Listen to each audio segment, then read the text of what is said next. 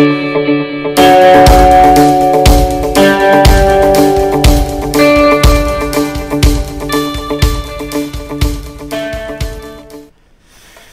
morning to everyone, and welcome to the well here at STSA. Happy first Sunday of the new year, for us at least. I know we've had another Sunday, but this is our first one back at the well. And before we start today's message, I got two kind of things that I, off the top of my head, before I get into today's message. The first thing, I want to share to you how I'm feeling right now, because I'm all into feeling my emotions and being more in touch with my emotions in the new year. That's my thing, okay? So, number one, I'm very happy to be here. Are you happy to be here? It's good to be back. Okay, every year when we take off for the, the Christmas and the New Year's and we kind of disrupt the schedule, I'm always like, oh, it's great to be home. It's great to have a, a lighter schedule a little bit. It's great to kind of get out of the norm, and it is. But now that I'm back, it's good to be back. It's good to be back because this is where we belong, right, church family? Like, this is where we belong. We don't be- belong out there having brunch on Sundays, okay, with those people have brunch. We belong here in the church, so I'm glad I'm here. I'm glad you're here. The second thing I want to share with you is for those who walked in a little bit early, you saw we had probably 1 billion technical difficulties before starting here today. 1 billion is an approximation. Thanks be to God, we have hardworking people over there running around everywhere, so we got all the screens to work, the music, everything worked out okay in the end. But whenever I see a lot of technical difficulties, I know that God has a very powerful message on that day. I know that God wants to deliver a very strong message, and that's why there's got to be a little bit of disruption and distraction to try to distract us from it. So I'm doubly excited today, not just to be back, I'm doubly excited because I believe God has a very special message that He wants to share with us at the start of this new year. And speaking of new year, let me start off with a confession. I am a New Year's junkie. I love New Year's. Okay, it is my favorite holiday, and I know that these days, for some reason, I don't know why, Okay, New Year's isn't as popular with others as it used to be, at least when I was growing up. I love New Year's. I love all things that are step back, take stock, inventory, come up with plans, come up with goals, anything where I can create lists with check boxes. Okay, that's like I'm all about that. Spreadsheets. So I love New Year's. I love New Year's. I love New Year's. But like I said, I think I'm like in the minority these days because the cool thing apparently is not to love New Year's. You know how like Christmas has a Scrooge who's like bah humbug? I feel like everyone is this New Year's Scrooge where they're like, oh, resolutions are outdated and oh, you shouldn't waste your time with that. And I'm like, when did it become out of style to try to improve your life? I don't know where that is. I looked up online a poll of Americans' favorite holidays. Anyone want to guess where New Year's ranks on the favorite holidays? Well, let's start at the top. What do you think is the favorite holiday in this country? Christmas is number one. Thanksgiving is a close number two. Okay, those two are at the top. Three, anyone guess? Halloween. Who said? Who said St. Patrick's Day? What you doing on St. Patrick's Day? Okay, St. Patrick's Day. Don't tell me St. Patrick's Day. Halloween was number three. Number four, Fourth of July. Number five, Easter. Six is where New Year's falls in. So I'm looking at this list and I'm like, these people are clueless. Okay, whoever made this list. First of all, they got Easter at five and Halloween, aka the devil one, is above Easter. Okay, so clearly whoever made this list doesn't know what they're talking about. And New Year's doesn't come in till number six. And I just don't know why people are opposed to New Year's. Because here's what something I learned this a long time ago. I think I read it in a book or heard it in a sermon. I don't know where, where it was. But every year, I remember this, and you probably heard me say this before. Okay, the reason why New Year's is important to me because of this statement, that's a game changer if you understand what it says. It says, Everyone ends up somewhere, but not everyone ends up somewhere on purpose. Everyone ends up somewhere, but not everyone ends up somewhere on purpose. In other words, in life, but we'll take it in a microcosm, we'll take it just for this year, but it really applies to all of life. All of us have aspirations. You have things that you want to accomplish. You want to build your marriage, you want to have a stronger marriage. You want to get closer to certain members of the family. You want to fix some broken relationships. You want to take the next step in your career. You want to ditch that bad habit or that addiction. You want to finally get healthy. Like you have lots of things that you want to do. And what I say to you is you can accomplish any of those things, but you can't do it by accident. So you can have a better marriage, but it's not going to be by accident. You can get in better shape, but it's not going to be by accident. You can take the next step in your career, but it's not going to be by accident. You're going to end up somewhere at the end of this year. You are going to end up somewhere. But the question is are you going to end up somewhere on purpose? Think of it like driving a car. All right, you get in your car today after we finish up here, you can go anywhere you want. You can go anywhere you want. You can drive to your house, you can drive to my house. You can drive to uh, Maryland, you can drive to West Virginia. You can drive to Canada, you can drive to, like, you can go wherever it is that you want. But what are the odds that I just get in the car, close my eyes, start driving, and end up at a five star resort in Cancun? It's not going to happen by accident. You can get there if you're intentional about it. So that's how I feel about New Year's. Is that everyone ends up somewhere, but not everyone ends up somewhere on purpose. So I want, as I approach this new year, is I want to get somewhere intentional. Like I want to be somewhere at the end of this year. And I want to be part of the process to determine where that is, as opposed to just wherever the wind may blow me. Think of this. Imagine there's a new bank that opens up in your neighborhood. And this new bank has a very strange policy. What they do, if you have an account with them, then they will deposit in your bank account every Monday morning, they will deposit $10,000 in your bank account. Every Monday morning, you get $10,000 deposited in your bank account. But there's a catch. The catch is you have to spend it all by the end of the week. And any leftover that you have, you lose that. So you only spend a dollar, you lose the rest of it. But you can use that $10,000 however you want.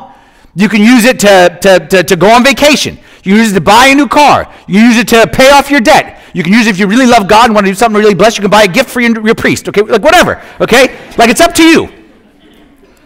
But at the end of your week, whatever wasn't spent gets thrown away. What would you do if that was your if you had that situation?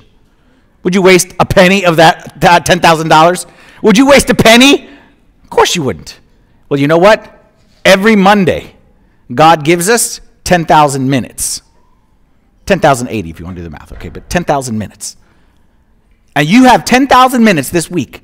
You could do whatever you want with it. Some people will use those minutes to try to cure cancer.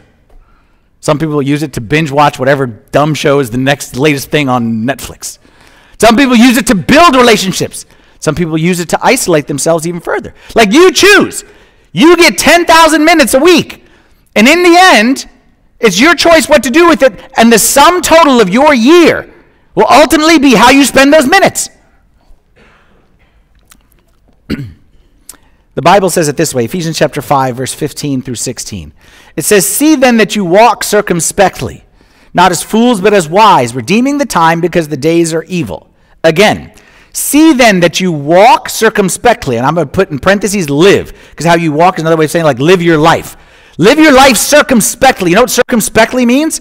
Means like like circumspectly means you're not just walking like like this through life. It means that you're walking and you're seeing where you're going and you're circumspectly what's behind you, what's in front of you. See then that you walk circumspectly, not as fools, not as suckers, not as people with their head in the sand, people who understand that the days are evil. What does it mean the days are evil? Days are evil doesn't mean that like is are wicked. What it means is, said another way, time is not on your side. Time is not on your side. The days go by quick. And if you are not intentional about it, they will fly by and you won't even know it hit you. A couple days ago, we had a, a gathering at my house of the 20 somethings. Any 20 somethings in the room? 20 somethings? 20 somethings? Very few 20 somethings? Okay, very good. Thank you very much. Not the most energetic group in the church, apparently, okay, but we had a group of 20 somethings at my house. And we were talking about like New Year's, and we were talking about what's the earliest New Year's memory that you have. Like, think of the first New Year's that you can remember. And someone, one of the elder statesmen in the group, said Y2K. And then I said, Oh, yeah, I remember Y2K because I was a consultant at the time and I was actually on a Y2K project. And this one girl had like the most puzzled look on her face, and she's like, What's Y2K? And we were like, la- I'm laughing, and another girl's like, explaining to her, she's like, It's the fashion, Y2K fashion. They're talking something fashion. And I'm like, What's happening in this room right now? And then it hit me. Half the people in that room were not born in the year 2000. And these are like real people not people on TV. These are like med students. Like you may like you may go to a doctor's office and be treated by somebody who doesn't know what it means to party like it's 1999. Like they don't even know what that expression means. That's what it means that the days are evil. I think of 1999, 2000 like last week. Like I remember it. And for other people, they're like, oh, that was that was before they were even born. That's what it means by the days are evil. Time flies. And I'm telling you, you're going to look back at some point on 2024. You're going to say, oh, Yeah, I remember. But the time flew. And that's going to be 2025 and 26 and 20. Like that. That's just how life is. That's what this verse means. At the end of this year, you're going to end up somewhere. But the question is where? Where do you want to be? Where do you want to be at the end of this year? Like, do you want, maybe, let's just brainstorm here together. Maybe this is the year that we finally, and fill in the blank. This is the year that we finally get over the hump spiritually. That we stop messing around. That we stop with like the, yeah, I go to church when the weather's nice, and then I don't go because there is, like I said, brunch plans. Okay? As if it's the only day that you can eat brunch. Okay?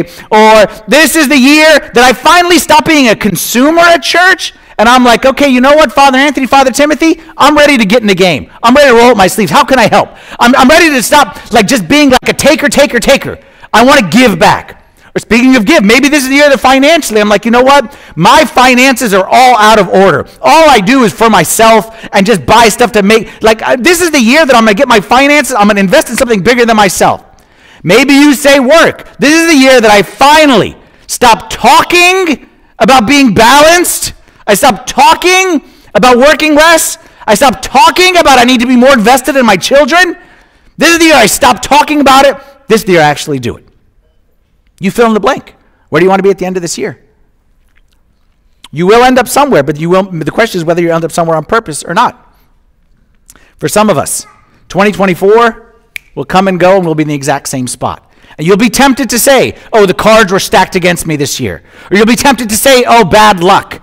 Or you'll be tempted to say, God is not on my side. You'll be tempted to say all those things. But the reality is, where you end up at the end of this year is going to come down to those 10,000 minutes that you get at the start. Those 10,000 minutes and how you invest them and where you spend them.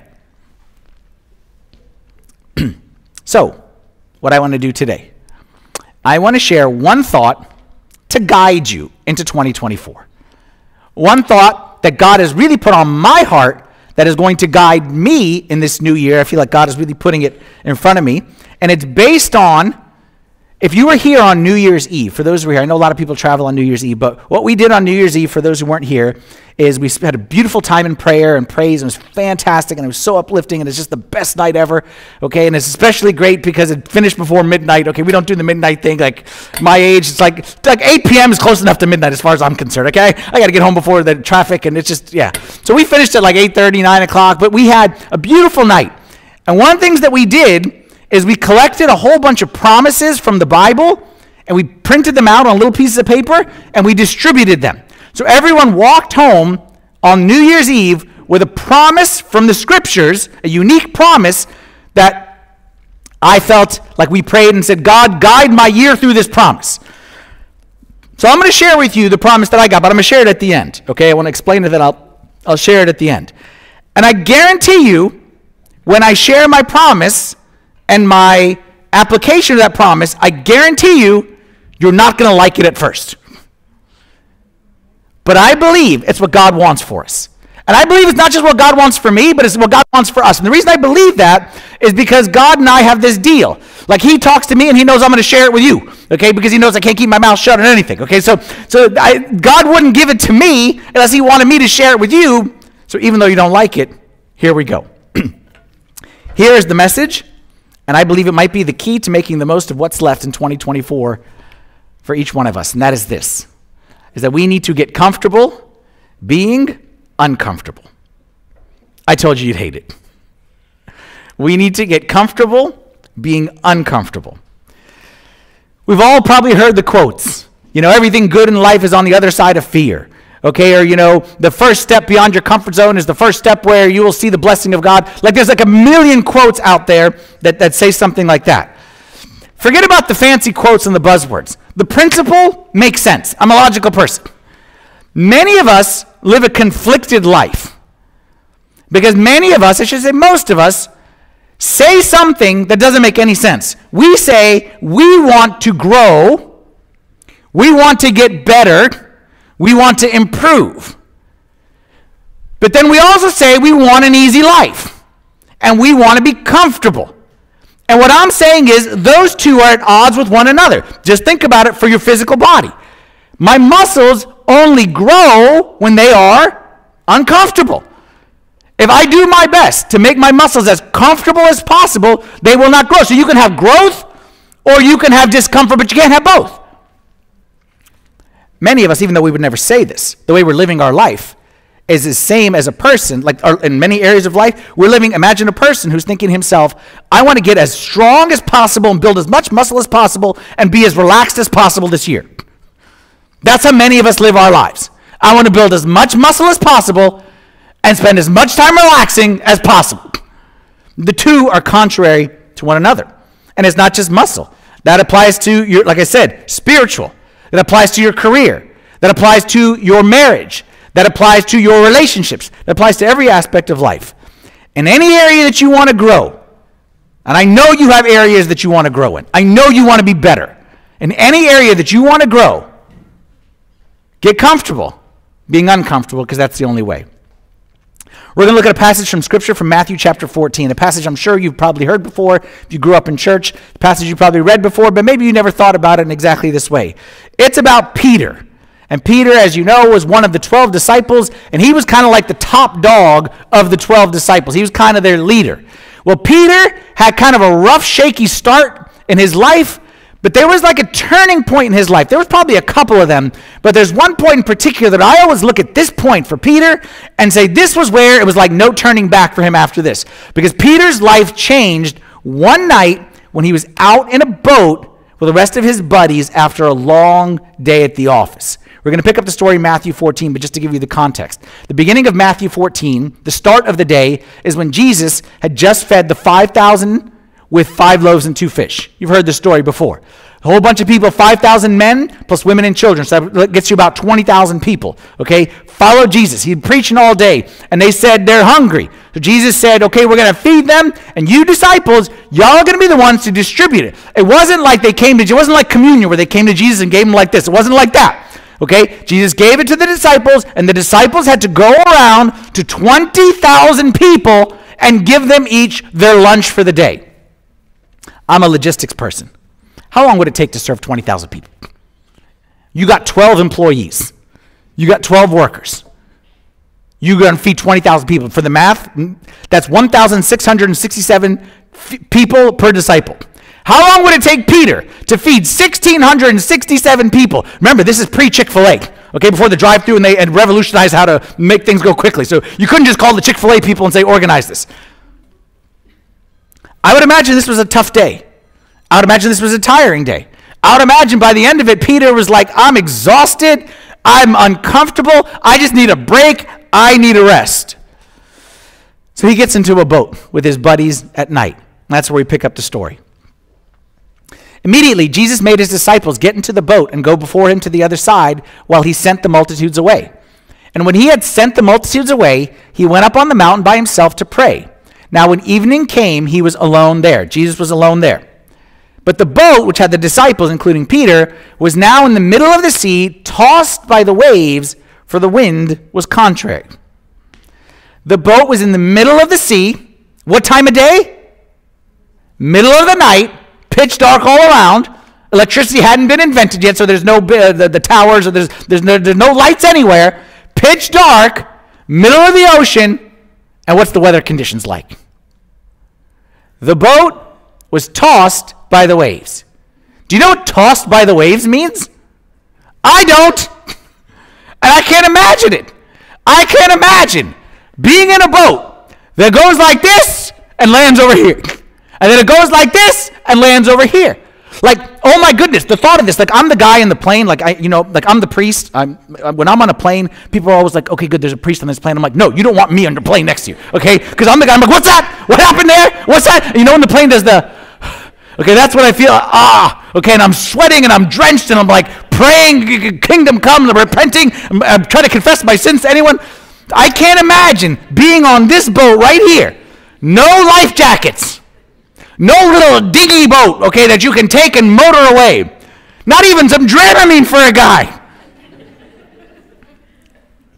What do you think Peter is thinking and praying? What do you think Peter is thinking and praying?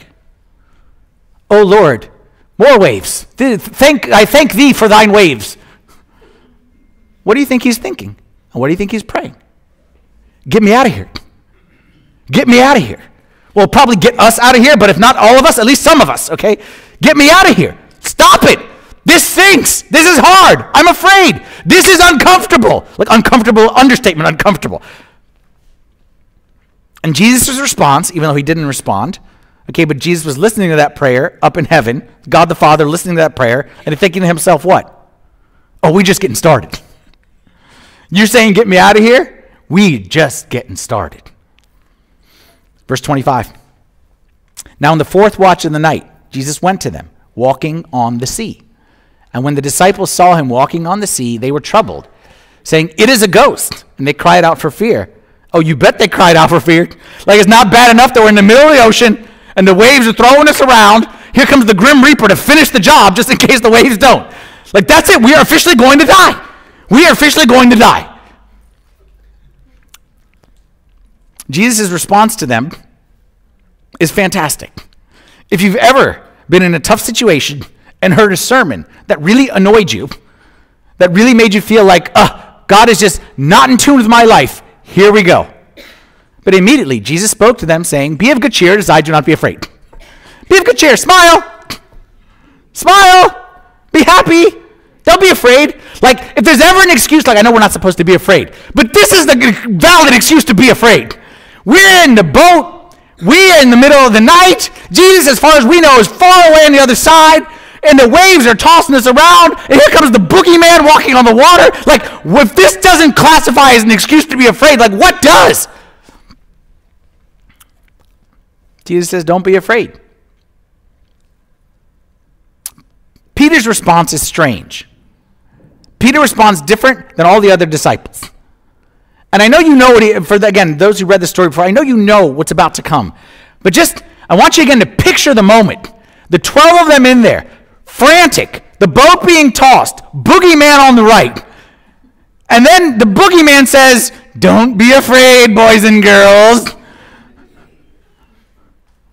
And Peter's response Peter answered him and said, Lord, if it is you, command me to come to you on the water. And you're like, What?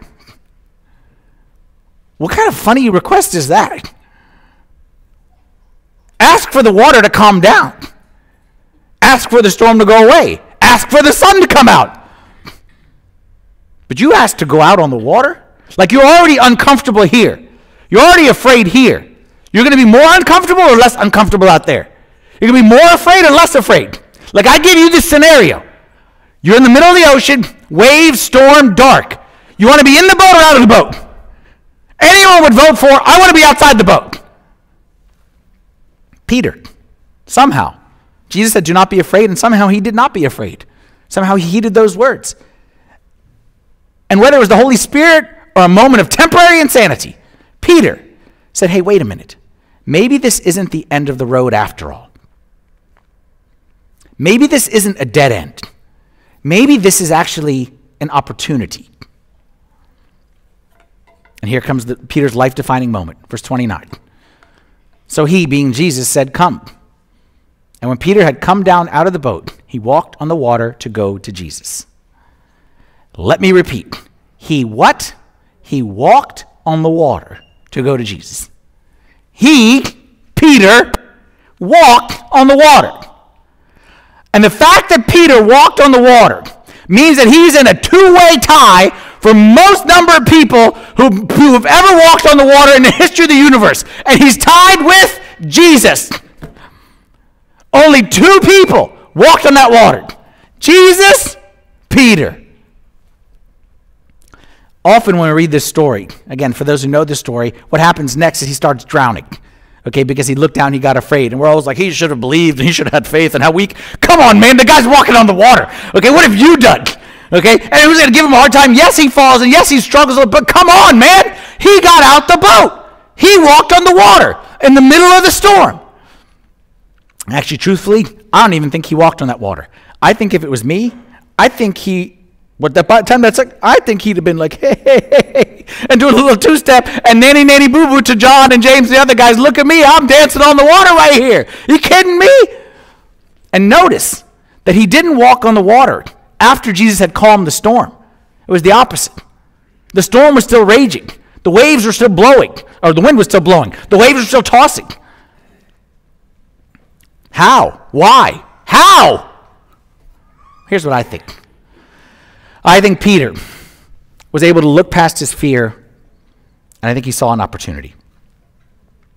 I think Peter looked past his fear and he saw an opportunity, an opportunity to do something incredible, an opportunity of a lifetime that those other suckers in the boat missed out on.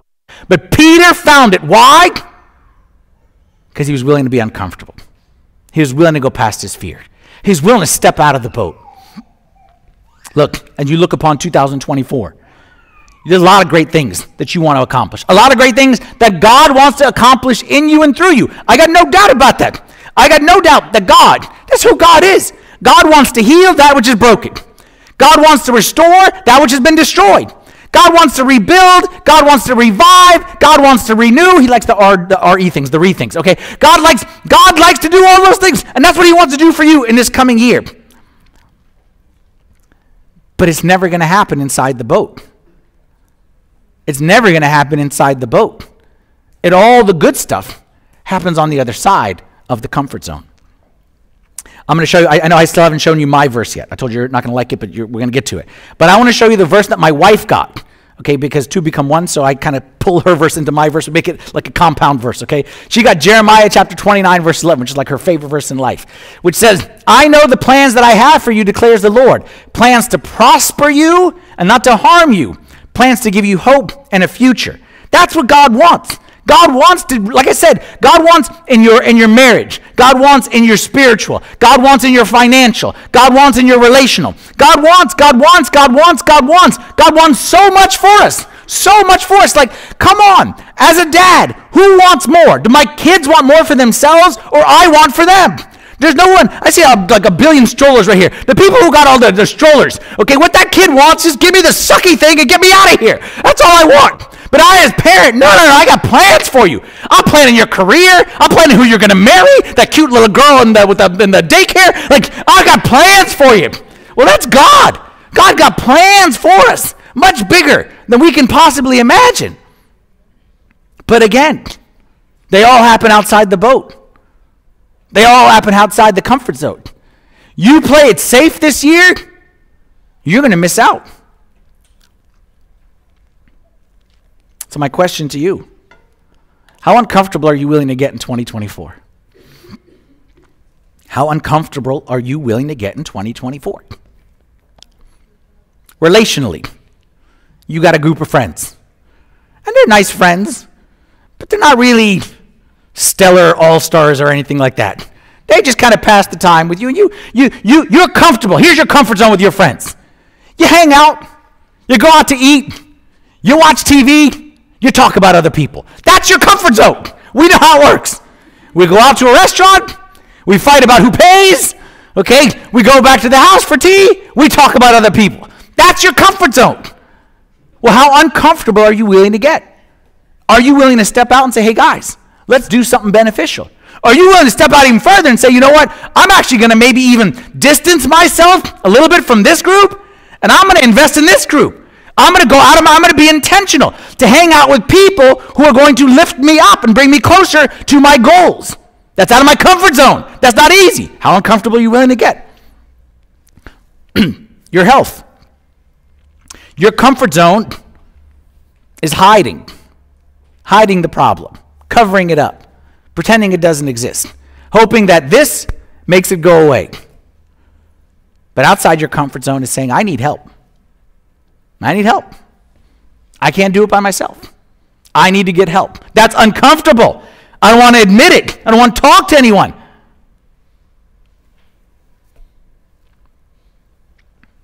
Your career. You know God wants you to cut back. You know God wants you to cut back. But your career, your comfort zone, if we're honest, okay, and I'm, I'm a workaholic by my nature, so I, I'm, I'm judging myself more than anyone else. If you're a workaholic, your comfort zone is working. That's easy for you. That's not hard. That's how, like, that's how, like, uh, uh, what's my comfort zone? It's just working, so I don't have to think about anything else. So I have to deal with anything else. So I can say, I'm busy, I'm busy, I'm busy. Hey, we missed you in church, I'm busy. Hey, you missed your kid's soccer, whatever. Hey, I'm busy. Hey, when's the last time you read the Bible? Oh, I'm busy, I'm busy, I'm busy. That's your comfort zone. And you could stay in that comfort zone. But if you want God to do something great this year, I know God wants greatness for you this year. I know it. I know it. Just like I knew He wanted greatness for Peter.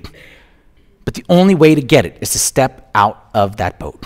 The only way to get it is to be uncomfortable. Ready for my verse? Here's my verse upon which all this is founded. And I want you to think of this in the context of that hard thing that you don't want to do. That hard thing that you're saying, I can't, uncomfortable. 2 Timothy 1 7. For God has not given us a spirit of fear, but of power and of love and of a sound mind. God has not given us a spirit of fear, but of power and of love and of sound mind. What I felt God telling me, this is me personally, you apply it however you want. You're smart enough to figure out how this applies to you. I felt God telling me, this year, there's going to be some hard stuff. This year is going to be some hard stuff, but be strong. Do not be afraid. We will be victorious.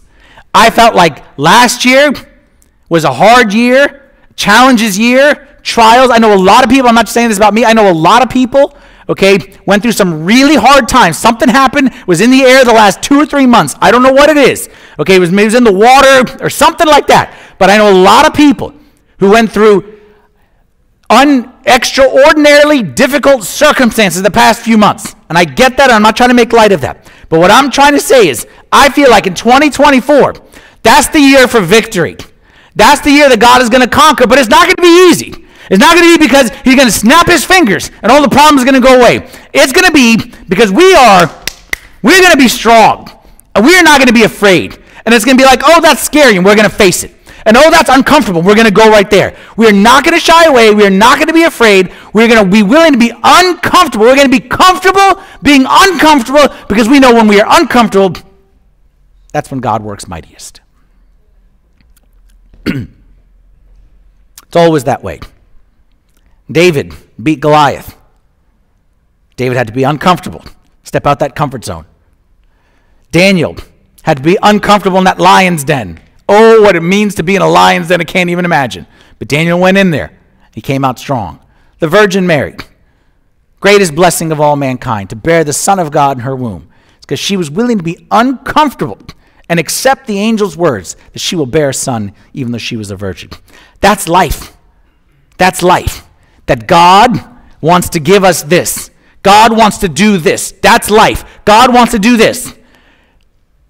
But the bottleneck is always my willingness to be uncomfortable. My fear of being uncomfortable is the bottleneck that stops God from working mightily in my life. And because I'm in a good mood here today, I'm going to give you a bonus application, a, a way to practice what I'm saying right away. Some of you could practice right away so that you can start to get some momentum because whenever it comes to getting out of your comfort zone, the first step is always the hardest. So once you take that first step, the second becomes easier, the third becomes the always the hardest is the first one. Who wants a practical application for how to step out their comfort zone? Say, I want a practical application. I want to hear everybody say, I want a practical application. Okay, since you asked, I'll give you something that. Y'all know what next Sunday is? Oh, I wish I hadn't asked. Ah. Oh. Y'all know what next Sunday is? Next Sunday is Friends and Family Day. And is what I believe is going to be our biggest and best one yet. And my challenge to you, outside of your comfort zone, is to invite one person to come to church with you next Sunday. Just one. And look here, I'm not saying, listen carefully to my words. I'm not saying bring someone to church. I'm saying invite someone to church. Because in the end, of course, I care about whether they come, but I really don't care whether they come. What I care about is I'm faithful in the process. This is not about that person or that person or we need to fill the seats, we have a quota or the Pope is checking our numbers. Like, this is not like that. This is not, we have so many parking spaces, we don't know what to do with them. This is not that. What this is, is I need to be faithful in what God has called me to do, and I need to be willing to be uncomfortable. Let's be honest. We all know that when it comes to inviting someone to church, no one likes to do it. It's scary, it's awkward, it's the epitome of uncomfortable. Comfortable is talking about God here in church. Like we can talk to each other about God, we can say these like Christian words to each other, but not out there. Those are a different world, Father Anthony. We don't like to mix worlds because when my outside world and inside world collide, okay, I explode or something like that when these worlds collide. So comfort zone is here. Out there is uncomfortable. I get it. I promise you, I get it. I get it. You see me up here, I'm bold, I scream, I raise my voice to do all that stuff. Outside there, talking to a stranger that I don't know, I'm very awkward as well. So I get it 100%. But I'm also a logical person. So ask yourself this. I'm going to give you two questions. Number one, what is the worst thing that could happen? What is the worst thing that could happen if you invite someone to church? They say no. They would probably not sue you. They would probably not take you to court. They would probably not fight you. They would probably do nothing other than say no, and it's a little awkward for two seconds. Okay? What is the best that could happen? You may change someone's life forever. You may save a marriage. You may heal an addiction. You may give hope to the hopeless. You may bring light into someone's dark, dark, dark world that they are living in daily. And you don't even know beyond that. Because I always feel like there's a domino effect. Like anytime someone asks me, you know, like this terrorist or, you know, like the school shooters or whatever it is, and like, what can we do? What can we do? What can we do? And I always say, when I see evil in the world, my first thought is, we need to do friends and family. We need to invite people to church. And like, what's the connection? Well, it's very simple to me. I may invite someone to church who may then invite someone to church who may then tell his parents, who will then talk to their neighbors, and their son will then be changed, and that was the kid who was going to do the whatever. I, I see it very logical. You don't know the domino effect. Like, I'm here and you're here because of something, many, many things that took place way before we were even paying attention. So you don't know when you invite someone to church what, the, what, what impact that's going to have down the road. So I look at it. The worst thing that could happen is I feel a little uncomfortable for about five minutes. The best thing that could happen is someone's life could change forever. And I'll tell you even beyond that. Beyond that the blessing that God will pour into your life when you start caring about His kids more than yourself. The blessing that God will pour into your life. We never want to be a selfish church. We never want to be a selfish church. God does not like selfish children. If you want to do something for me, show me that you care about my kids. If you want to upset me, you want to get on my bad side, Show me that my kids are in need, but you don't care because it's a little uncomfortable for you to do something about it. That you care more about your comfort than ultimately the well being of my kids. so, you asked for a challenge. Here's your challenge invite someone to church next Sunday. Up on the screen, there's a QR code that'll lead you to a website. Okay, and that's our, on, on, our web, on our webpage, stsa.church slash friends and family. That makes it easy for you Okay, it talks about the, the series, talks about what time, talks about the location. Like it makes it very, very easy. All you got to do is send someone that and say, my, my difficult priest, he's a difficult man. Okay, he's difficult. And he said that I got to invite somebody. So get him off my back because he's a difficult man. Get him off my back and I'm inviting you. That's all you got to do. And just so you know, we're starting a series next week, which is perfectly designed for someone who is not into church. Okay, it's called You Are What You Ask, and we're going to talk about four life changing questions, which I believe questions to help you get the most out of this year. Okay, but really it's to get most out of life, but we'll just focus on kind of one year at a time. But my point is, it's the perfect series to invite somebody who's struggling. So I want you to think to yourself is there someone that you know who needs to be here? Like, we have something good here. Don't you agree we have something good here? We have something good here, right? Anyone think we don't have something good here? Okay, that's really out your comfort zone. That's really. You think we have something good here? It benefited you in some way, right? Of course it has. Well, then ask yourself the question: Is there somebody that I know that would benefit from being here as well? Someone in my office, someone in my neighborhood, someone on my basketball team, someone that my kids play with. Is there someone who would benefit from being here? And then simply be courageous. Step out of that comfort zone and invite them to church.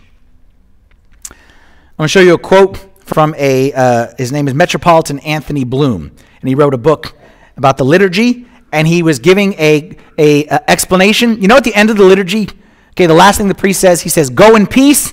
May the peace of God be with you." Okay, that's what the priest says. Go in peace. That's the very end. Okay, and then he was writing about that, and he was saying, "What does it mean to go in peace?" He was he was like uh, explaining the word "go." Does it mean just like drive safe? You know, watch out for the traffic on the 14th Street Bridge. Like, is that what he's saying? Like, I hope you arrive home safely? And he says this. A little bit of a long quote, but it's so beautiful. He's saying, no, it is not that. It means this. It means you have been on the Mount of Transfiguration. You have seen the glory of God. You have been on the road to Damascus. You have faced the living God. You have been in the upper room chamber. You have been here and there in Galilee and Judea. What he's talking about is all the places that Jesus was. You were with Jesus in all those places all the mysterious places where one meets God. Go now, and if you have truly discovered joy, how can you not give joy to others? If truly you have come near to truth, how can you keep it for yourself? If truly something has been kindled in you, which is life, are you going to allow anyone not to have a spark of life? It does not mean go around and tell everyone specifically religious things or use clerical phrases. It means he's, saying, don't be annoying. Okay, don't just use Christian phrases and holier than thou. That's not what he's saying. But it means that you should go into the world, which is yours, with a radiance, with a joy, with an intensity that will make everyone look at you and say, He has something he hadn't before. Is it truly God has come near? He has something he never had before and which I do not possess joy, life, certainty, a new courage, a new daring, a new vision. Where can I get it? If that ain't motivates you to invite somebody to church, I don't know what does. Our message for today. Okay, the invite someone to church is just the application, but let's go back to the big level. Let's kind of tie this thing all together. Our message for today is God wants a great year for you. And you want a great year for you. So are we're aligned. I want a great year, God wants a great year. Fantastic. I don't know what God wants to do in your life this year. I don't know. But I know exactly where it's going to happen. It's going to happen outside your comfort zone. I don't know what, but I know where. Because I know that inside that boat, Peter would have been just like everybody else. That inside your comfort zone, You'll be just exact. You will end the year exactly where you started. Comfortable. Very comfortable. Same place, very comfortable. But I know that I want more. And I want to invite you to ask yourself this question. What might, li- what might life look like? It's a tough one to say. Outside that comfort zone. And I don't have the answer for you. But what might, what might my life look like? What might the impact of a decision to step out my comfort zone. Like I said, the decision to say, you know what? Church number one, everything else number two. I go to church every Sunday. I don't make any excuses, rain or shine. I'm like the mailman. Whatever it is, I go to church and I have lunch like normal people, not brunch. What impact might that have by the end of 2024? By the end of this year, how might my life look different if I made that decision outside my comfort zone? What would happen if I took that step of faith? and said, I'm sorry. I apologize. What might, what might my life look like if I went and said, I need help? What might my life, I can't say that expression, that's a very hard expression. What would life look like if I was willing to do something difficult and outside my comfort zone? I don't know. But I want to find out. And I hope you do as well. Because in the end, God wants to do great things this year. But if you want to realize it, you need to get comfortable being uncomfortable. That's the only way to find the blessing of God. Peter found it, and he didn't regret stepping outside that boat. And my prayer is that by the end of this year, all of us will have a Peter moment, stepping outside the boat and telling everyone, it was hard, it was scary, but I'm so glad I did it. Let's stand together for a prayer. In the name of the Father, and the Son, and the Holy Spirit, one God, amen. Heavenly Father, we thank you for the start of this new year. And we thank you, Lord, for your promise that you want to do something great this year. I pray that you would give us the courage to be willing to step outside of our comfort zone and experience what it is that you have in store for us.